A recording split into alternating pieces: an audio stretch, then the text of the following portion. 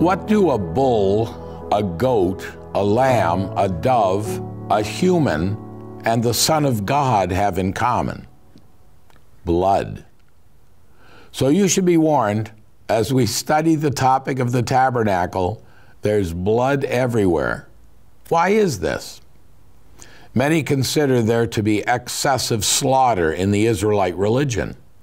It's interesting that the name of the first man and of all humanity after him was Adam. The word for blood is that word, but without the A, equals dam. Adam's name literally means to show blood in the face, that is, to flush or to blush, or to be of a ruddy complexion. What irony that the color in the cheeks that shows we have life was also the indication that death had come to the human race through sin when our first parents were ashamed before the Lord.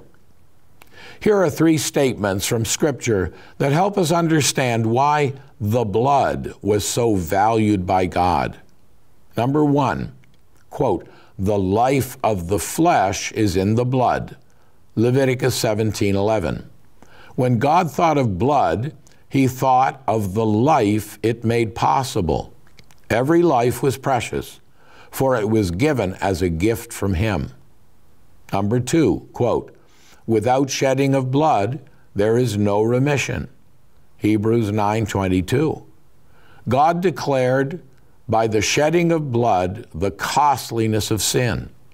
Sin brought death, and so required the death of another to requite it.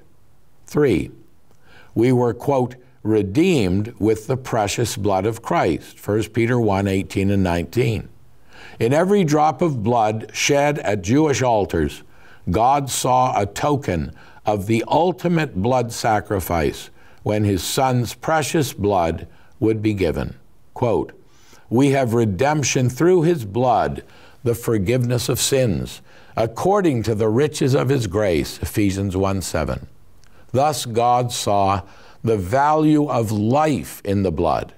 He saw sin's consequence of death in the shedding of blood, but he also saw life eternal through the gift of the precious blood of his dear Son.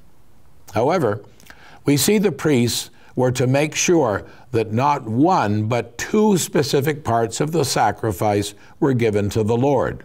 Quote, Aaron's sons, the priests, shall sprinkle the blood all around on the altar.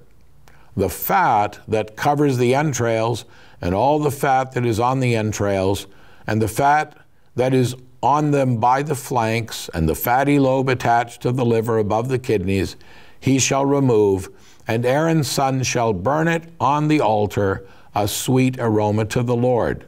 Leviticus 3 2 to 5.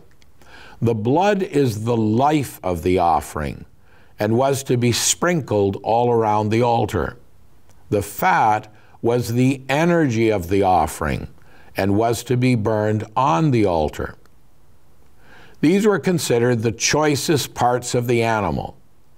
Now, without question, God deserves the best. But in requiring the blood and fat to be offered to him alone, see verse 17, was he keeping the best back from the offerer? Did God need the blood and the fat? Of course not. We were the ones who needed it. The blood was the basis of the offerer's redemption. For without shedding of blood there is no remission. Hebrews 9:22. Sprinkled on the altar, it was a public display of God's satisfaction with the value of the offering on behalf of the offerer. And the fat? When the fire ignited it, it became a sweet aroma to the Lord. That fat was the basis of the offerer's acceptance with the Lord. What we give to God, He keeps for us. So said Jesus, Whoever loses his life for my sake and the gospel's will save it. Mark 8:35. Thus Paul's ringing declaration, I know whom I have believed, and am persuaded that he is able to keep what I have committed to him until that day. 2 Timothy 1:12. God is not a taker. He is the giver of every good and perfect gift. James 1:17.